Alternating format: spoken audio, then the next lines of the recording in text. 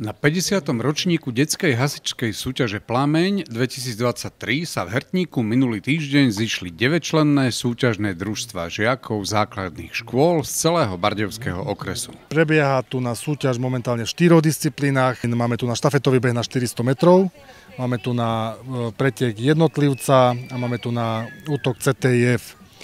A posledný samostatne hodnotený, samostatnou hodnotenou disciplínou je požiarný útok s vodou. Ja som rád, že to funguje, že tá mládež okrem futbalu, keď u nás sa nehrá, že vraj sa začne, robí aj tú činnosť zaslúžnu. Na obecnom futbalovom ihrisku si v územnej okresnej hasičskej lige zmeralo sily 12 kolektívov mladých hasičov z obcí Hertník, Osikov, Hrabovec, Beloveža, Becherov, Harhaj, Zlaté a Malcov.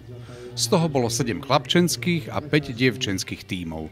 Súťažilo sa v rôznych vekových kategóriách od 7 do 15 rokov. Každá disciplína sa boduje samostatne. Po ukončení všetkých disciplín sú vyhodnotené. Dneska orientačne od tej 15.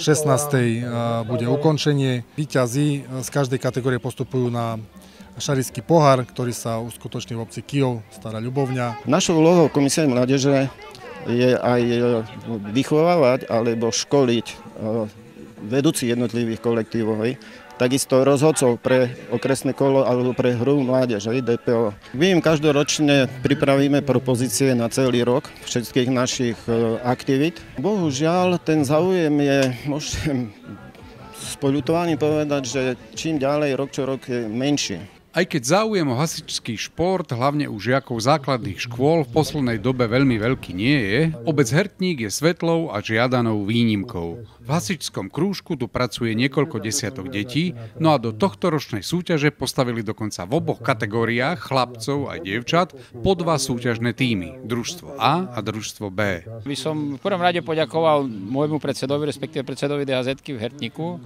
Rakošovi Rišovi, ktorý fakt podchytil tie deti a za posledné posledných 5 rokov neskutočné množstvo. Už minulé bol z toho nervózny, že má pomaly 80 detí a sa to strieda a toto i malý, veľký. Ale veľmi, som veľmi rád a podporujeme to samozrejme aj z obce, aj, aj finančne, aj morálne, aj, aj preto sme aj tu.